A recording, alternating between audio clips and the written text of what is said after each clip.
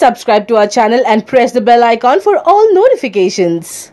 Do you remember Meher Ramesh? The director of movies like Billa Shakti and Kantri has been out of work since Shadow. Although Meher Ramesh is always seen around in film events and parties, he is staying away from filmmaking. He always accompanies Mahesh Babu and his family. Meher Ramesh was seen along with Mahesh Babu at the AMB Cinemas launch on Sunday. He stayed close to Mahesh all the way and also left the city capital mall along with the superstar. It is clear that Mahesh has no plans to do movie for Meher Ramesh. Interestingly, Meher Ramesh is a close relative of megastar Chiranjeevi, but he is not seen around mega heroes. Wonder what he gets for staying around Mahesh all the time. What Jay does Meher Ramesh gets by simply playing the close aid role for Mahesh Babu. Nobody who had worked with big stars and high budget films would settle to be a caretaker, right? Hi everyone!